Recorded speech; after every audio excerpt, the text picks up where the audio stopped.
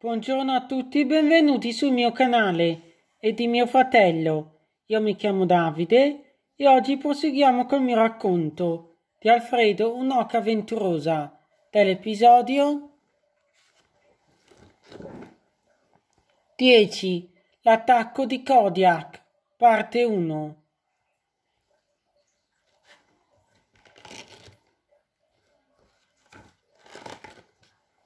Una volta arrivata mattina, Gino, offeso che Alfredo lo aveva ingannato sulla direzione da percorrere per portarlo nella sua fattoria, disse a Loca Bravo, i miei complimenti.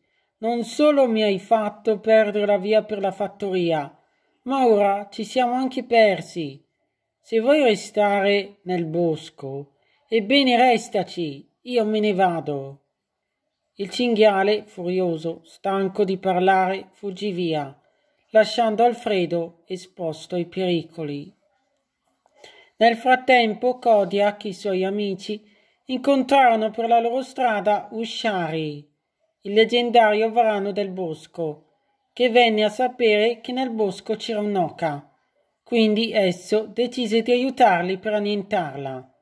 Kodiak, escogitando un piano con il resto della squadra, decisero di attaccare l'oca, due alla volta. Per primo fu Corrado ad attaccarla. La faina furtivamente piombò sul collo di Alfredo, cercando di mettere fine alla vita dell'oca. Tuttavia Alfredo, confuso, lo scraventò contro un sasso e disse Cosa stavi cercando di fare? Noi siamo amici, vero? Tutti gli animali del bosco lo sono. La faina, alzandosi in piedi, rispose Lo saremo una volta che te ne andrai da qui.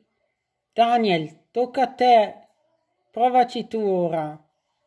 Daniel, il tasso, uscendo da un cespuglio, schiacciò la testa dell'oca e gli disse Ascoltami, giovane papero, il bosco non è posto per te. Io potrei lasciarti anche in vita, soltanto se mi prometterai di ritornare nella tua vera casa. Però Alfredo, testardamente, non lo ascoltò e alzando le ali lo scraventò via lontano. La faina, arrabbiata e impressionata, ritornò da Kodiak avvisandolo di non sottovalutare l'oca, perché essa è imprevedibile. Kodiak rispose Hai ragione, Corrado, ma non temere, ho tutto sotto controllo. Fra un po' lancerò in campo Bat il pipistrello, il quale insieme a Red, la volpe, dovranno sgozzarla. Piuttosto, Daniel, dove è andato? Corrado disse. Daniel è stato scraventato via, però sta bene. Ha deciso di tornare a casa, poiché il combattimento a lui non piace. Kodiak, comprendendo la scelta di Daniel, fu contento ugualmente, perché era certo che l'oca sarebbe stata sconfitta. Questo è Kodiak e questa è la faina Corrado. Bene, vi ringrazio dell'ascolto, lasciate un like se vi è piaciuto, grazie alla prossima, ciao da Davide, ciao!